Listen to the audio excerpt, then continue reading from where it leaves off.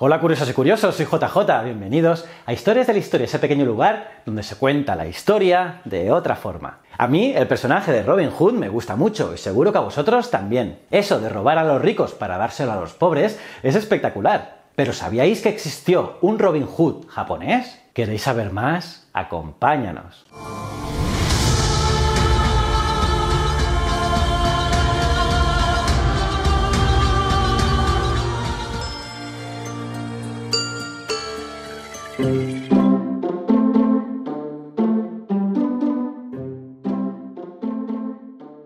Los amigos de lo ajeno han existido en todas las épocas y lugares, y si echamos un vistazo a los periódicos de hoy, vemos que estos ladronzuelos no están precisamente en peligro de extinción. Pero siempre ha habido clases, y entre tanto mangante y estafador de poca monta, también hay bandidos que se han acabado convirtiendo en auténticos héroes de leyenda. Nuestro protagonista de hoy es uno más en esa lista de nombres míticos que va desde Robin Hood hasta Bonnie and Clyde y demás forajidos legendarios. Hoy hablaremos de Ishikawa Goemon, un ladrón de guante blanco que sembró el terror entre los ricachones de Kioto y alrededores a finales del siglo XVI. Pensad que tan sonados fueron sus golpes que llegó a ser poco menos que el enemigo público número uno de su época. Pero como dice el refrán, al final el crimen siempre se acaba pagando. Por desgracia para Goemon, iba a acabar saliendo literalmente escaldado de tanto atraco. Goemon tuvo una vida y sobre todo una muerte digna de la mejor novela. De él se ha dicho casi de todo. Algunos lo pintan como un paladín de los desfavorecidos,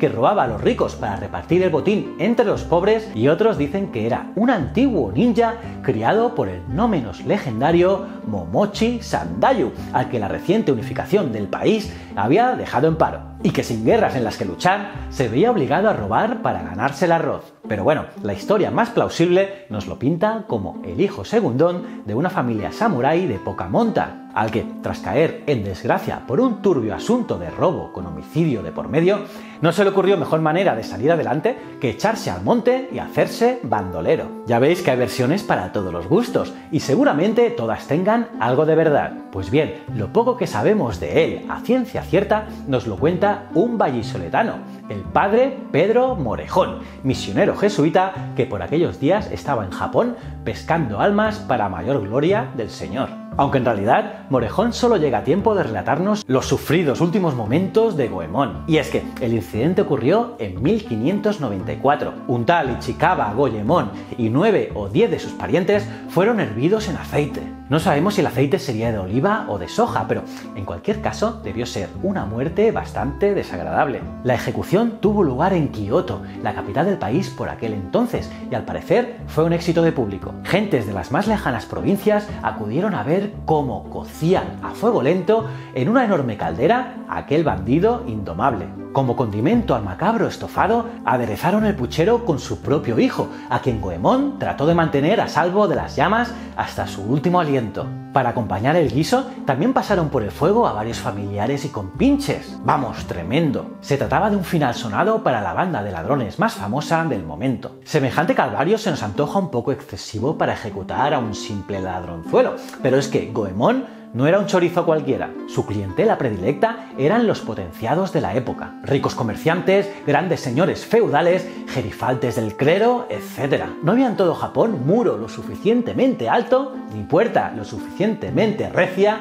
para detenerle. Pero mientras, el pueblo llano veía con simpatía como él y su banda de amigos de lo ajeno limpiaban impunemente las cajas fuertes de los peces gordos de Kioto. La fama de Goemon crecía a ojos vista, pero a la vez se estaba ganando enemigos muy, pero que muy poderosos. Y claro, también peligrosos. Entre ellos se encontraba nada menos que Toyotomi Hideyoshi, el amo y señor del recién unificado Japón. La leyenda dice que indignado por el giro despótico que había tomado el gobierno de Hideyoshi, Goemon empleó sus habilidades ninja para colarse en el mismísimo castillo de Fushimi, su residencia oficial en Kioto, y rebanarle el pescuezo mientras dormía. Pero se ve que, para haber sido ninja, era un poco torpe, porque lo de moverse en sigilo no se le daba muy bien. Y es que, en medio de la oscuridad, acabó derribando un incensario de un puntapié, y el ruido alertó al instante a toda la guarnición que se le echó encima antes de que pudiera acercarse siquiera a los aposentos del tirano. Seguramente todo esto no es más que una bonita historia, ya que ni a Goemon ni a nadie en su sano juicio se le habría ocurrido atacar al hombre más poderoso del país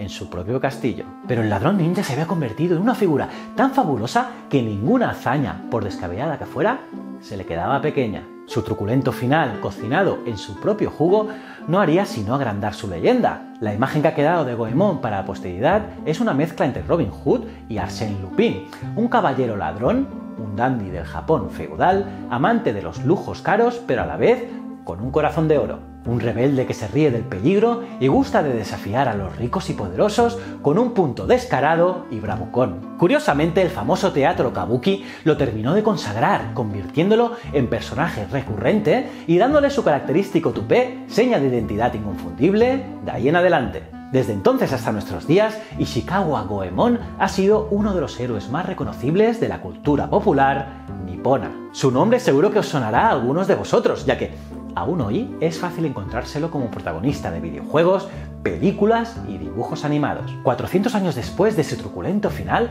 Goemon sigue estando muy vivo, como muestra un botón. Hoy en día, no, sin cierta mala leche, los japoneses llaman a las bañeras hechas de metal Goemon Buro, o sea, baños a lo Goemon, recordando la olla en la que lo cocieron a fuego lento. Apenas se usan ya en las casas particulares, pero aún es posible verlas en balnearios y termas públicas. Y con la afición que tienen los japoneses a bañarse con el agua a temperaturas imposibles, no sería raro que el día menos pensado alguien acabara marcándose un goemon en toda regla. Pero, por escaldado que salga, es difícil que se llegue a hacer tan famoso como el último baño de este intrépido Robin Hood japonés. ¿Cómo os habéis quedado, curiosas y curiosos? Podéis poner todas vuestras opiniones en los comentarios. Estaré atento. Ah, y si te ha gustado este vídeo, dale al me gusta y si es tu primera vez en Historias de la Historia, dale este botón de aquí y suscríbete al canal. También a la campanita para estar al día de todas, todas, todas las novedades. Para acabar, os quiero recomendar seguir mis otros dos canales,